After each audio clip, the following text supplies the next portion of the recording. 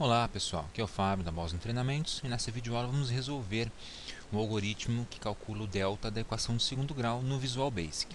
Tá? Então se você se recorda da nossa última videoaula, uh, nós tínhamos esse exercício para realizar.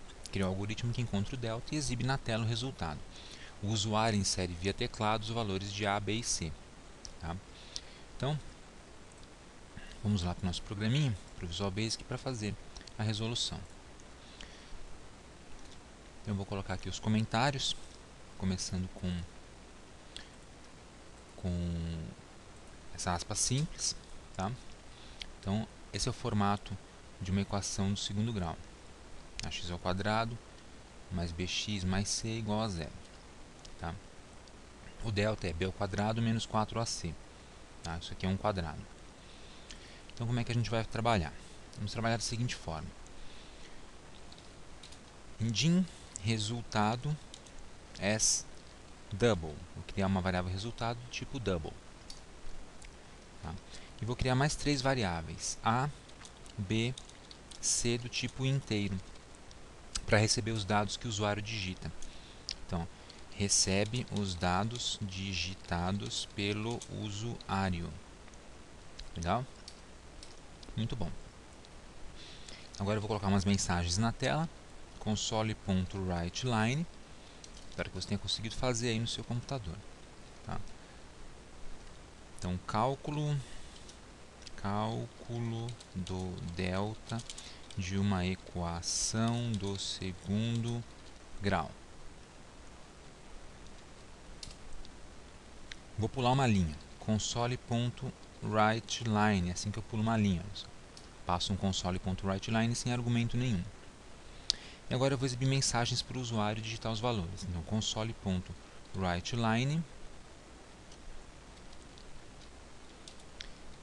digite o valor de A. Ele vai digitar o valor de A na equação. Tá? E aí, A recebe console.readLine.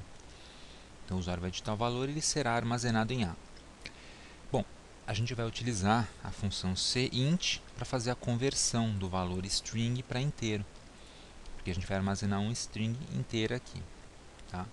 E aí eu vou repetir mais três vezes um código parecido com esse para os valores de B e de C.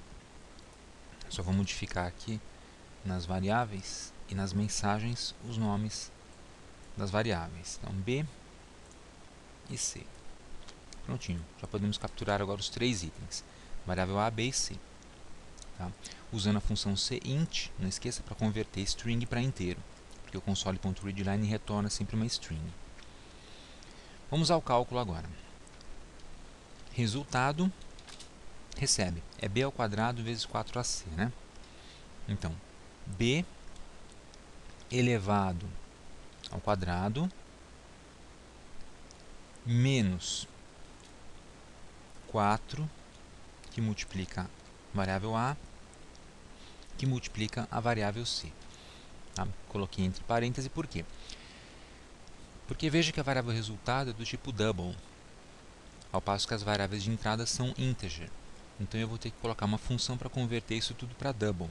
C dbl é a função que converte uma expressão para o tipo de dados double.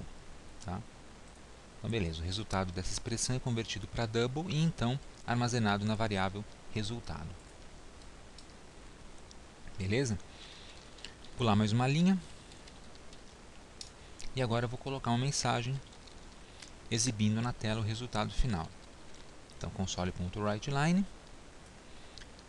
mensagem, uh, o resultado do cálculo do delta é vou usar esse formato aqui vou colocar valor índice zero vírgula e o nome da variável resultado. Beleza.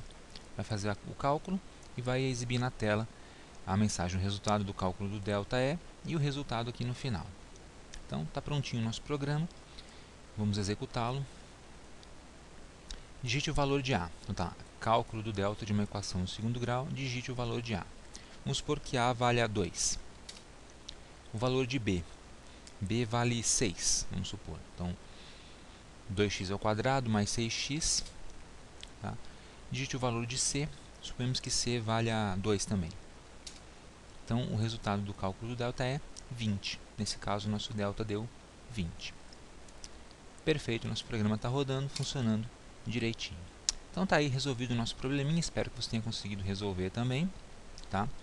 Na próxima videoaula a gente prossegue falando sobre operadores relacionais e mais para frente manipulação de strings.